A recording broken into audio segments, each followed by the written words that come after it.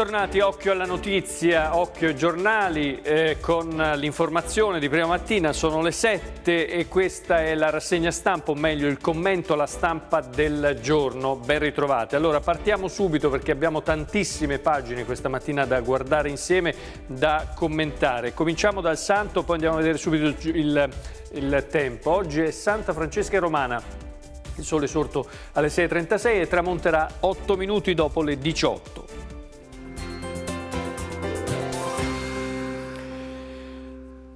Tempo perturbato con pioggia. Oggi avremo deboli piogge persistenti nel settore centro-meridionale con eh, cumulate più abbondanti nelle province meridionali. Fenomeni più intermittenti invece nel settore settentrionale, quindi nel Pesarese, con cumulate deboli. C'è anche la neve intorno ai mille metri. Domani invece torna il cielo eh, sereno con poche nuvole, anche giovedì il tempo è buono con eh, temperature che sono in diminuzione, ci sono gelate diffuse giovedì in nottata e inizio mattinata. Poi il tempo sarà variabile ma lo vedremo nei prossimi giorni. Allora domani saremo in lockdown, zona rossa, la provincia di Pesaro Urbino così come quella di Fermo, titolo del Corriere Adriatico. Di questa mattina, edizione pesarese, Acquaroli ha firmato l'ordinanza che istituisce la zona rossa in provincia di Pesaro fino a domenica, chiusi gli esercizi salvo quelli di prima necessità, sospese tutte le scuole, limitati gli spostamenti individuali. I vaccini si cambia postazioni anche all'ex Ristò, siamo all'interno dell'Iper Rossini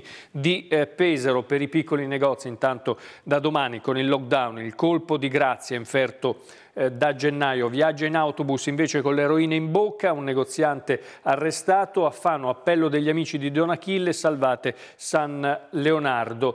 Ancora dal Corriere eh, Pesarese eh, gli uomini delle istituzioni contro la violenza di genere, sindaco e presidente della provincia al flash mob per la giornata internazionale delle donne, ovvero eh, quello che c'è stato in piazza 20 settembre ieri a Fano e poi Pier Santi, il poeta, fa 80, le mie poesie dice che nascono a voce alta. Il Carlino di Pesaro, andiamo a vedere la prima pagina, da domani scatta la zona rossa, Acquaroli rompe gli indugi, durerà per ora fino a domenica, dobbiamo frenare la crescita dei contagi. Si richiude, ecco le regole, spostamenti, sport, negozi e scuole, cosa si può fare e cosa non si può fare.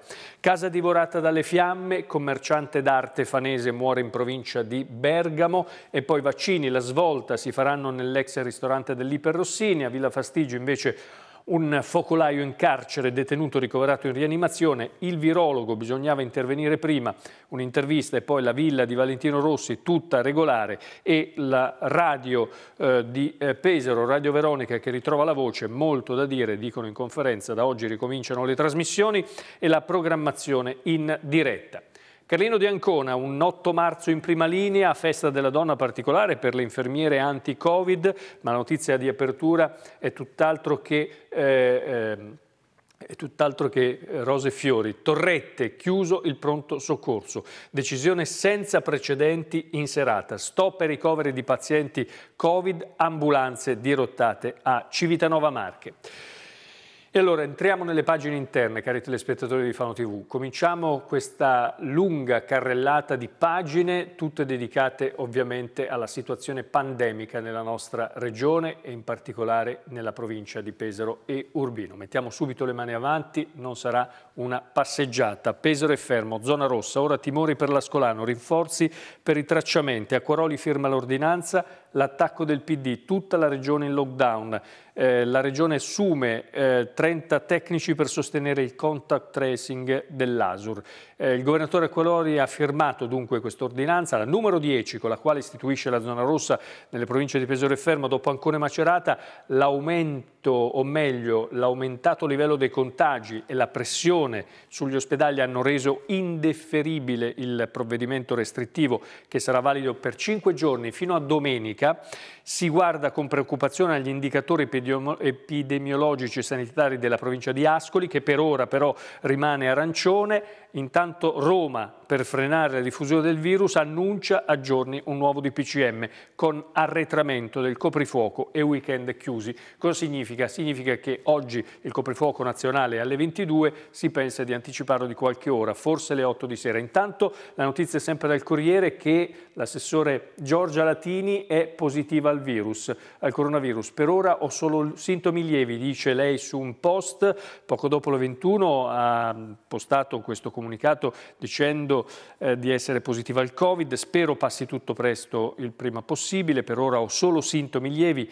Ieri mattina intanto aveva partecipato alla giunta collegata però al computer. Da multicolor invece a tinta unita la parola passa al governo se decide il parametro dell'incidenza scatta il lockdown su tutto il territorio e dunque eh, anche sulla provincia di Ascoli Piceno. Intanto ad Ascoli, così come affermo, debutta il 112, è possibile scaricare anche l'applicazione dedicata. Poi il vaccino, la questione dei vaccini non se ne esce fuori, cari telespettatori, è ovvio, ormai è assodato, senza eh, il, la copertura vaccinale. E allora il contrasto al Covid nelle Marche, abbiamo un riquadro che eh, ci dice subito in pochi istanti a colpo d'occhio com'è la situazione in questo momento.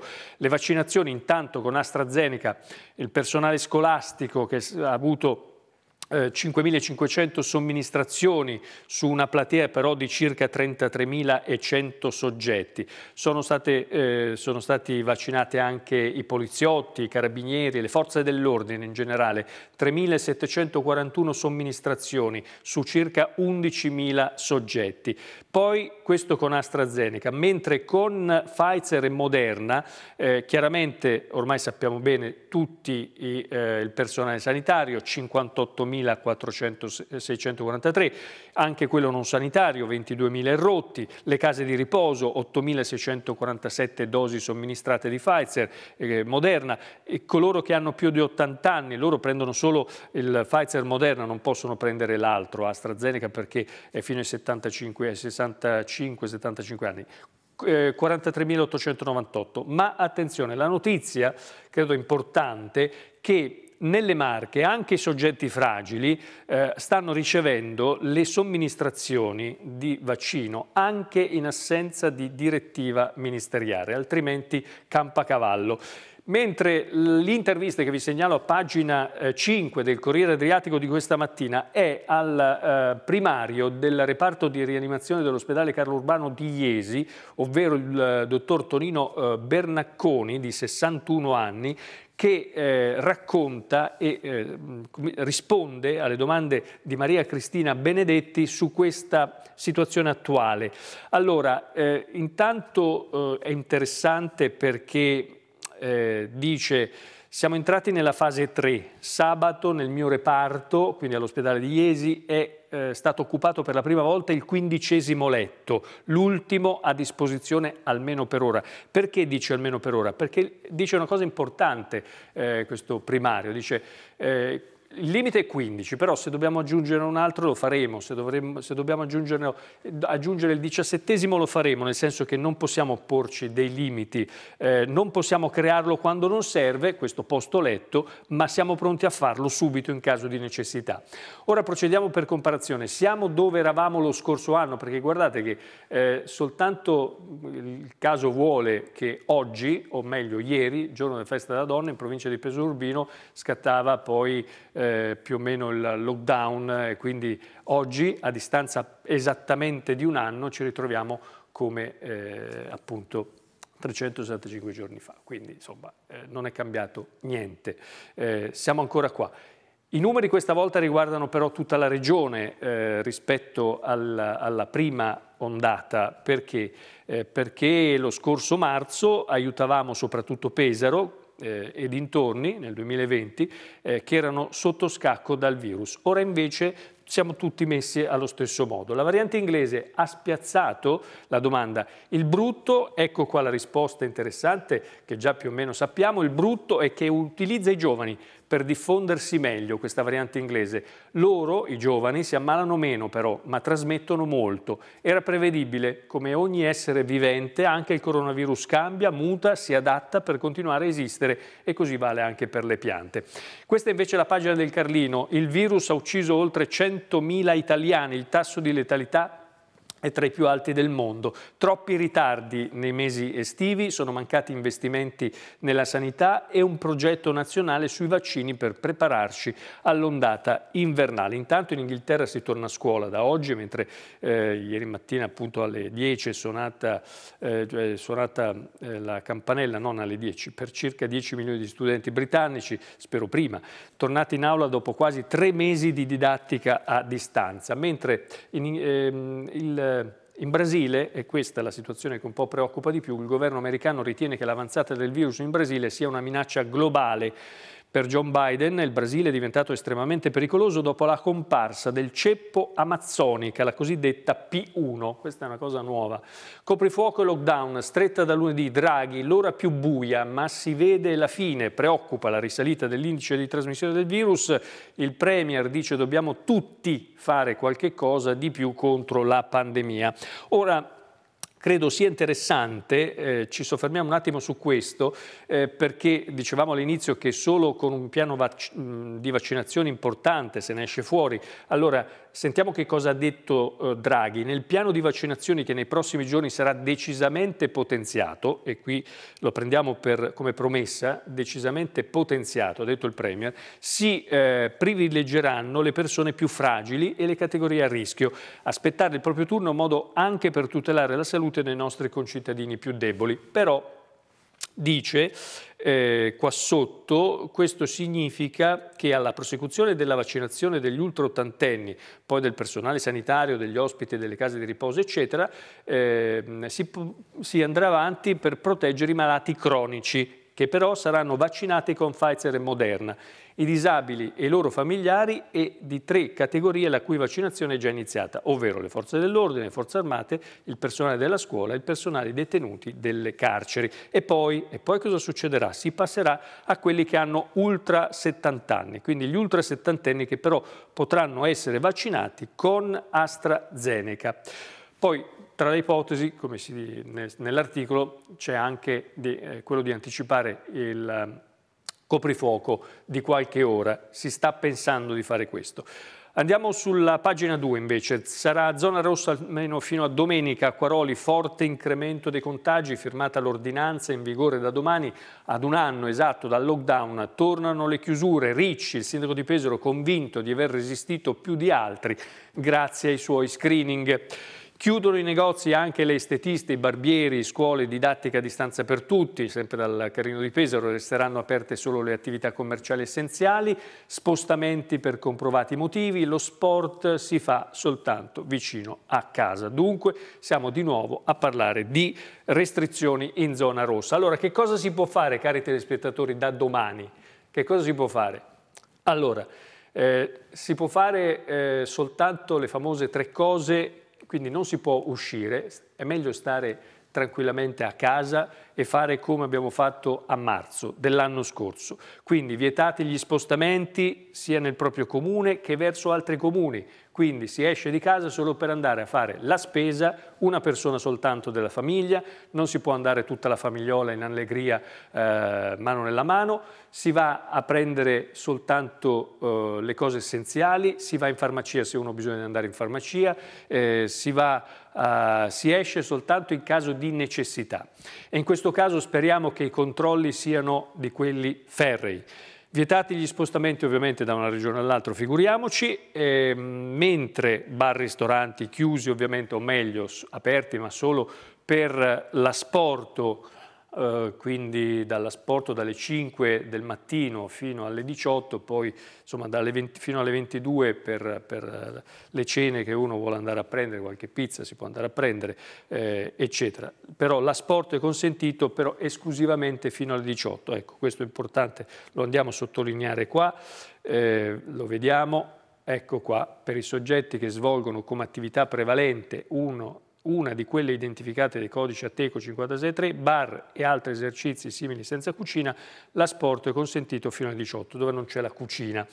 Le attività commerciali, abbiamo detto, insomma, sono chiusi i mercati ad eccezione delle attività dirette alla vendita di soli generi alimentari, eh, anche i negozi di fiori sono aperti, Restano aperte le edicole, i tabaccai, le farmacie e le farmacie, mentre eh, chiusi i barbieri, abbiamo detto, sono chiusi i parrucchieri, sono sospese le attività inerenti alla persona, ad eccezione delle lavanderie, tintorie, servizi e pompe funebri, musei, luoghi di cultura, questo ovviamente è tutto, uh, tutto chiuso. Le scuole sono chiuse, tutta didattica a distanza, eh, tutte le scuole di ogni ordine e grado, quindi asili, elementari, elementari, tutto chiuso. Eh, I datori di lavoro pubblici limitano la presenza del personale nei luoghi di lavoro per assicurare esclusivamente le attività che ritengono indifferibili e che richiedono necessariamente tale presenza, anche in ragione della gestione dell'emergenza. Tutti gli altri dipendenti pubblici staranno ovviamente a casa. Attività motoria e sportiva, da domani tutti di nuovo con la tuta, scarpe da ginnastica e si torna a essere grandi maratoneti.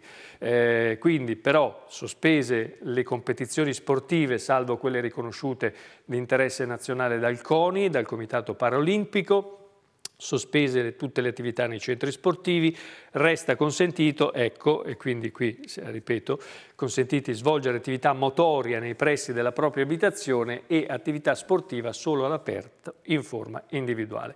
Però io credo che invece, ecco, piuttosto che rinchiudersi in casa, chi può, sì, lì fuori casa si, si possa prendere un po' d'aria buona.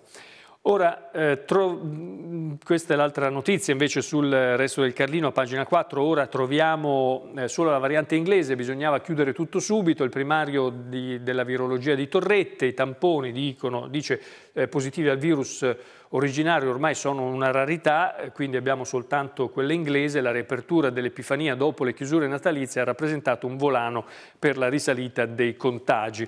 Eh, emergenza ospedale, nuovo reparto Covid, ancora da Pesaro, si cerca di recuperare posti letto per far fronte all'aumento dei pazienti. Nella palazzina H ricoverati 12 anziani con il virus, eh, sono 116 i contagiati regionati. Po ehm, mentre c'è un focolaio nel carcere di Villa Fastigia a Pesaro, un detenuto in terapia intensiva, sarebbero una ventina i contagiati nel penitenziario, permessi allungati e detenuti vicino alla scarcerazione.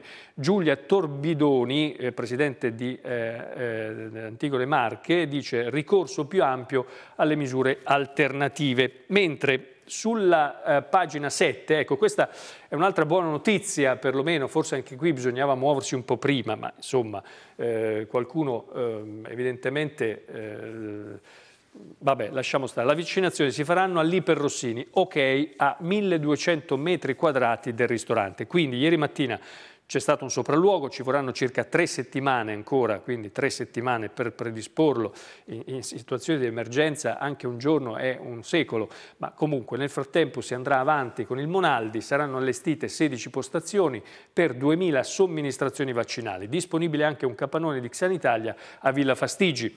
Il virus non corre solo sulla costa, però in una settimana il 30% di casi in più. In diversi comuni della vallata la curva è indecisa risalita. Buma, Mondolfo, appello del sindaco. Guardate eh, com'è in questo momento la curva del Valcesano eh, con eh, queste eh, queste località, appunto Mondolfo, che ha eh, 54, da 54 positivi che erano il 22 di febbraio all'8 marzo sono diventati 89. Vedete come c'è stato questo aumento, soprattutto a Mondolfo, perché per il resto mi pare così a colpo d'occhio che addirittura qualcuno come San Costanzo ha, eh, è diminuito, ma Terra Roveresca è lo stesso da 15 a 28, insomma c'è stato un bel aumento. Vaccini invece a Urbino arrivano eh, con due ore di ritardo ritardo e succede il caos, per superare il blackout è stato necessario andare a prenderli a Civitanova Marche dove erano stati stoccati, nessuno praticamente li consegnava. Eh, la scelta infelice dal punto di vista vaccinale ha creato ieri code e varie proteste. Siamo a Urbino, si sono presentati sia gli over 80 comparenti al seguito che gli insegnanti. Mentre sull'altra pagina, eh, ecco questa invece è forse una delle eh, scelte mai prese prima d'ora, da quando esiste l'ospedale di Torrette di Ancona. Eh, Torrette chiude il pronto soccorso. Tutte le ambulanze dirottate a Civitanova. Reparto al collasso in una situazione mai vista prima, neanche nel terribile marzo 2020. Non ci sono posti, non ce la facciamo più, dicono. Già in mattinata si era presa questa decisione, poi rientrata su pressione dell'ASU. Infine la deriva serale e lo stop senza eh, precedenti. E dire che abbiamo pure il Covid Hospital a Civitanova. Quindi immaginate un po' come siamo messi. Anche se anche se ma non abbiamo tempo per fare ulteriori analisi. Contagi in salita anche a Senigallia, titolo del Carlino, eh, Senigallia conta il 30% in più, in una settimana i positivi passano da 3,72 a 4,88, ma l'incidenza consentirebbe l'apertura delle, eh, delle, scuole. Belvedere, Barbara e Castelleone di Suasa si sono salvate dall'aumento eh, dei eh, casi. Mentre andiamo a fare la spesa, hanno detto ai carabinieri, ma il supermercato è chiuso, quattro persone multate, i carabinieri hanno sorpreso i ragazzi in una macchina sola dopo le 20 e hanno fatto loro il verbale per la violazione della zona rossa e per i piccoli negozi, come scrive il titolo del Corriere, il colpo di grazia inferto da gennaio, dati impietosi per il primo mese dell'anno, reggono solo gli alimentari, abbigliamento, calzature, accessori a picco, il calo registrato del 41%. Questo è il dato che riguarda il calo delle vendite al dettaglio nella moda, meno 41% a gennaio e meno 23,3% a eh, febbraio. Andiamo ancora avanti, eh, la pagina di Fano del Carlino, una sposa in rosso e 20 uomini muti per celebrare la donna, così la città di Fano ha voluto suggellare l'8 marzo con una iniziativa che accende i riflettori sulla violenza di genere acuita dal, eh, dalla, pandemia, dalla pandemia.